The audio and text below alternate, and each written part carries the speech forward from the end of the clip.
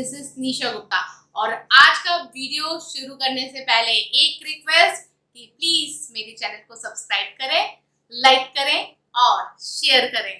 तो शुरू करते हैं आज का वीडियो और आज का जो कंसेप्ट है, वो है स्पीक टॉक टेल से चैट एंड विस्पर ये इतने सारे शब्द हैं और मीनिंग एक ही। है कहना, बताना, बात करना।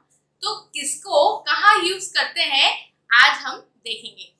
पहला है स्पीक स्पीक यानी बोलना.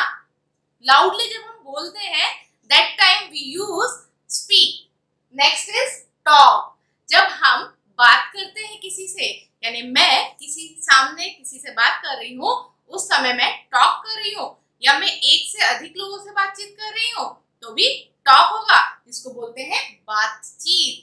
फिर है टेल ये बहुत कंफ्यूज करता है एक टेल और से कहाँ पे टेल का यूज़ कहाँ पर? से का यूज़ तो टेल का यूज़ कहाँ करते हैं? टेल का मतलब होता है कहना.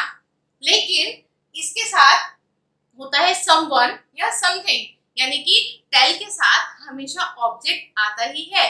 Tell me something I want to tell you something तो जो यहाँ पे यू आया है दैट इज़ ऑब्जेक्ट यानी हमको किसी से कुछ बोलना है that time we use tell लेकिन जो से होता है, इसका मतलब भी कहना ही होता है। लेकिन इसको बिना नेचुरल तरीके से मुझे कुछ कहना है। आई वॉन्ट टू से से के साथ ऑब्जेक्ट नहीं आता है। फिर आता है चैट जी हाँ चैट जब हम किसी से फिजिकली बिना किसी उद्देश्य की बात करते हैं दैट इज़ कॉल्ड चैट जब हम गॉसिप करते हैं दैट इज़ कॉल्ड चैट तो चैट का मतलब होता है बिना किसी उद्देश्य के बातें करना।